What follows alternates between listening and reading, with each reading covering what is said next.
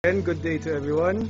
We are here at Engineer Erwin Rommel's place for him to update us on his elevated modular aquaponics design. Let's all welcome Engineer Erwin Rommel. Hi, good afternoon. So, I'll give an update on how uh, aquaponics is uh, doing for, uh, here for the EMAD system. So you can see here uh, the fish tank. So we have uh, above uh, 50 pieces of fish there, tilapia. Okay, so your water is very clean. Yes. Uh, above the fish tank, you can see here the this is a gravel bed. So right now we are using a flood and drain system. So you can here uh, see here the tomatoes. Also here's a flower. Okay, So- so uh, I have a question for you. Is a tomato a vegetable or a Fruit. Uh, fruit? Well, uh, it depends on how you see it, but uh, botanically speaking, it is a fruit. But uh, for culinary purposes, it's uh, categorized as a vegetable. Uh, so if you plant it, it's a vegetable. But if you eat it, Well, a uh, fruit? it's Or the the other way around. Yes. Uh, Okay. From a plant perspective, it's a fruit, but then if you eat it, they call it a vegetable. uh, I see. So here's also an orchid. Wow. We tried planting it. Okay. Uh, you can see at the back side, so you can, you can see it uh, clear. Here's a broccoli plant. okay. So it's growing uh, quite nice. Then What do you have here? this is uh, spring onions. Oh, okay. So we planted uh, onions on a gravel bed. I see. Wait, is that a pineapple express? Well, it's a regular pineapple. ah, okay, okay. so it's growing on the gravel. Huh? yes. Okay, and that's another uh, broccoli plant. Uh, very interesting. How do you plant uh, pineapple? You just uh, buy a fruit, take out the crown, then plant it directly. It will grow. Oh, okay. Yep. Let's see how big it will grow in a gravel bed system. We're quite excited on how the fruit will look. So you can see uh, our tomatoes are now flowering. You can see the flowers here. So I can see you are tying it up on a string. Yes, because uh, tomatoes are uh, get heavy and they are not so stiff, so they get to fall over. So you have to tie them something to something to prevent them from from falling. Okay. So let's look at the floating raft system. So here's the floating raft. So we have uh, a red var- uh, variety of lettuce. Lollo Rossa. Yes, that's the rosa, and this is the sanadu.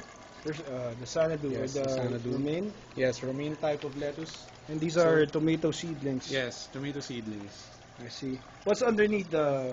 So if we can uh, take the raft out, Okay. so you can see the roots under it. Okay. Relatively small because the it's still a seedling anyway. So if you can see it clear, we are uh, raising uh, giant freshwater prawns here. Okay. They also call it uh, Macrobrachium rosenbergii or giant river prawn. Well, uh, it's not It's very very big. hard to say. Yeah? I'll just call it freshwater tempura. Yes. Yeah, there, there's a big one over there. I, I, I think they're nocturnal creatures, right? yes. They uh, s- only wake up at night. So there's a big one over there.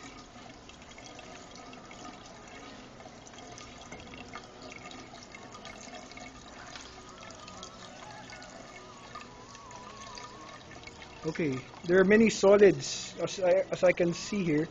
There are solids trapped underneath it. Yeah, how, So- how do you how do you make sure it doesn't clog the roots of the floating raft? Well, as of now, uh, we're using the flood and drain system as the filter, but uh, to get a higher fish density, we'll be installing uh, in the next few days the filter module. Or anyway, uh, any DIY filters we can install. Okay, so, to you have a from you have a setup over here. Yes, it's uh, not yet finished. So, Can you explain the setup?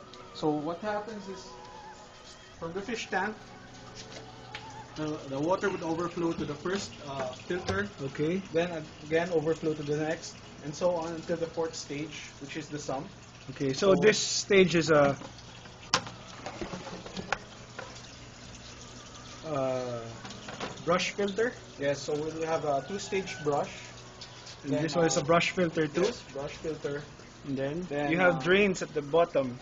Yes, we install drains, so when cleaning, we don't have to remove the entire uh, drum. Okay, so here's an example of a brush. Yes, Okay. how the brush will look like when installed to the filter. So it's like a brush. Okay. That's why we call it brush filter. So it will accumulate the larger solids. So that's a very nice innovation that we got here. Yeah, you're not using bulkhead fittings. No, we're just using a 2-inch male and female adapter. I see. It's a little bit cheaper than a bulkhead fittings. Then using bulkhead fittings or uniseals. yes, This one is a a pack media compartment. yes. Okay. Then And- the last one is the sump. Uh, that's where you, that's where you will place the pump. Yes. Then from the sump, the pump will uh, the pump will uh, uh, deliver the water from the filters to the two grow beds. Okay.